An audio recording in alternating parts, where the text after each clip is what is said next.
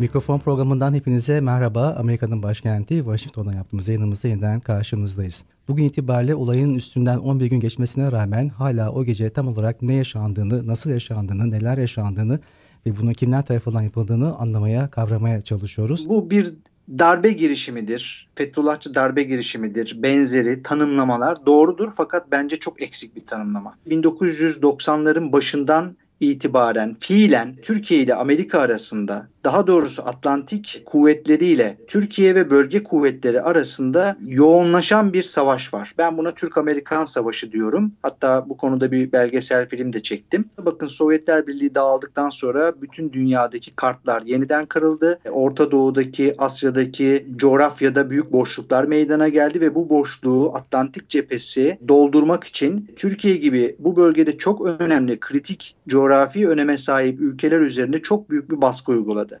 Jandarma Genel Komutanımız Eşref Bitlis'in uçağının düşürülerek öldürüldü. Türk askerlerinin e, kafasına Süleymaniye'de çuval geçirilme olayı, ardından Ergenekon, Balyoz ve casusluk davası gibi davalar. Ardından Türk Silahlı Kuvvetleri'nin 24 Temmuz'da başladığı PKK bölücü terörüne karşı başlattığı mücadele, Suriye'deki gelişmeler, koridor savaşları bütün bunların üzerine Türkiye ile Amerika arasındaki savaş 15 Temmuz'da zirvesine ulaşmıştır ve Amerika bu savaşı kaybetmiştir. Sayın Cumhuriyet Savcısı Serdar Coşkun'un Fethullahçı terör örgütlenmesi ile ilgili yazdığı çatı iddianame. Birkaç gündür bunu inceliyorum. Bakın iddianame e, şunun üzerine kurulmuş. Fethullahçı terör örgütlenmesi bir tarikat gladyosudur. Yani Sayın Savcımız olayı çok doğru görmüş. Bu bir gladyo örgütlenmesidir. Kökleri 1960'lı yıllara uzanmaktadır. Türkiye'de ilk defa bir e, siyasi bir davada Gladio örgütlenmesi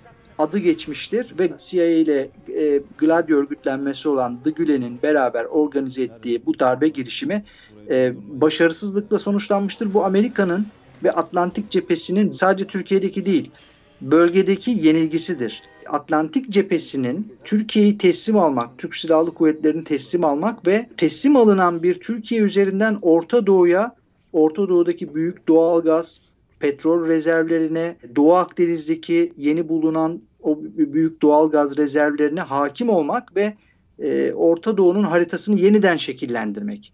Uluslararası finans çevrelerinin çıkarları doğrultusunda bu bölgeyi, bu coğrafyayı yeniden şekillendirmek için yapılmaya çalışılan e, bir darbe girişimiydi. Bir Vietnam yenilgisi gibidir bu e, Batı açısından. E, bu bir tiyatro muydu e, bazılarının iddia ettiği gibi? hem de e, bu eğer e, Türkiye'nin ısrarı devam ederse e, Türkiye Amerika arasında nasıl bir sıkıntı yol açacak bir e, süreç başlatacak? Öyle tiyatrolar gördük ki İbrahim Bey ve Barın Bey e, bu Ergenekon e, balyoz yargılamaları sırasında. Yani hem mahkemede mahkeme tam bir tiyatro gibiydi. Oradaki suçlamalar, hakimlerin tavrı, savcının tavrı, iddianame, e, ve o mahkeme aşamasına gelene kadar Türkiye öyle tiyatrolar yaşadı ki Fethullah Gülen yapılanması tam bir tiyatro örgütüdür. Tiyatro yapar dünyada ve bugün 15 Temmuz olayının tiyatro olduğu yönündeki fikirlerin hepsi aynı merkezden geliyor. Yine Fethullah Gülen e, örgüt, örgütü tarafından dünyaya empoze ediliyor. Bu yapılanma yaptıysa bunu bunlar bir anda 15 Temmuz gecesi ortaya çıkmadılar. Hükümet bunun farkında, ordu içinde bunun farkında olanlar var, başka kurumlarda olanlar var. Ama ona rağmen nasıl oldu da bu örgütlenme e, bu şekilde bir noktaya geldi? Neden önlem alınmadı? E, bakın Türkiye Atatürk'ün bölge merkezli dış politikasından ve ekonomik, sosyal, kültürel, politik tam bağımsızlık çizgisinden uzaklaştıkça ve NATO'ya ve Batı'ya yaklaştıkça daha çok Fethullahçı oldu. Bunun başlangıcı budur. Fethullah Gülen'in ilk örgütlenmesi 1960'lı yıllarda başlamıştır. Bizim belgeselde bunu çok ayrıntılı anlatıyoruz. Türkiye'de kontrgerilla e, olarak bilinen e, yapının birkaç e, ele, bir eleman önemli bir elemanıyla birlikte 1957 yılında bir toplantı yapıyor Fethullah Gülen ve orada devşiriliyor ve orada kendisine kullar açma, ışık evleri açma görevi veriliyor ve Türk Silahlı Kuvvetleri içerisinde örgütlenmesi projelendiriyor. Bunların hepsinin nedeni şu. Bakın Türkiye 1960 e, devriminden sonra, ihtilalinden sonra hızla e, daha demokratik, çağdaş, daha Atatürkçü bir çizgiye doğru, daha sola doğru e, kaymaya başladı ve sistem bunu dengelemek için e, ne yaptı? Topluma, Türk Silahlı Kuvvetlerine ve topluma biraz daha e, şey yapalım bunlara İslam şırıngalayalım. E, yöntem buydu. Bu 12 Eylül'de çok daha hız kazandı. Bakın bugün darbeye karışan generallerin çok büyük çoğunluğu %90'ı 1984 yılında orduya giren subaylar. Ve hesapları şuydu. 2019 yılında bunların büyük çoğunluğu orgeneral rütbesi alacaklardı. Yani bu işin kökleri Türkiye'nin aslında Atatürk çizgisinden uzaklaşmasına kadar uzanıyor. Ee, ve ben oradan şöyle bir sonuç çıkartıyorum. Atatürk'ten ne kadar uzaklaşırsanız o kadar Fethullah Cumhuriyeti olursunuz. Sorum şuydu aslında yani neden öngörülemedi bu darbe? Neden e, son birkaç yıldır özellikle cemaatle hükümet arasında e, müthiş bir tabiri caizse savaş vardı. Yani evet, böyle bir ortamda, birkaç, böyle birkaç savaşın yaşandığı tabii, bir ortamda tabii, hükümetin sorunuzu. bunu... Hı hı. Ee, birkaç yıldan bahsediyorsunuz ama bakın karşımızda 50 yıllık bir örgütlenme var. Bunu 2 yıl önce fark etmeniz ya da ben kandırıldım demeniz bir şey değil, çözüm değil. Yani iki yıl önce fark etmişsiniz ama bunlar 50 yıldır devletin bütün kademelerini ele geçirmiş. Hukuk, yargı, eğitim e, ele geçirmiş. Hatta öyle ele geçirmiş ki bugün e, şu kadar kişi işte 10 bine yakın insan diyelim ki tutuklandı, gözaltına alındı falan. Hala örgütün e, koza diye tabir edilen açığa çıkmamış ve açığa çıkmama talimatı verilen e, bir grubu hala devletin içinde duruyor ve bunlar kim bilir hangi maskeler altında duruyor. Batı'nın şu anda takip ettiği reaksiyon yani Türkiye'deki gidişatta insan hakları ihlalleri olacak, işte işkence olacak, başka şeyler olacak yaklaşımını nasıl değerlendiriyorsun?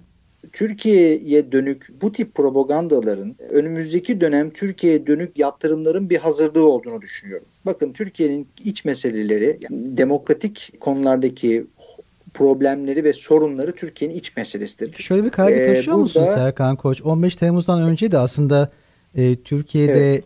e, basın özgürlüğü olsun, e, toplumun değişik kesimlerine e, farklı muamele edildi olsun, işte kutuplaşma tehlikesi söylemi olsun pek çok şeyden yakınıyorduk. Batı o zaman da bunları söylüyordu. Yani dolayısıyla bugün bunun dile getirilmesi darbeyle hemfikir olmak anlamına gelmiyor herhalde değil mi? Öyle bir şey, e, öyle bir yanılgıya düşmemek lazım belki de. Bakın darbe başarılı olsaydı Türkiye'deki demokrasi ve insan hakları hangi düzeyde olurdu?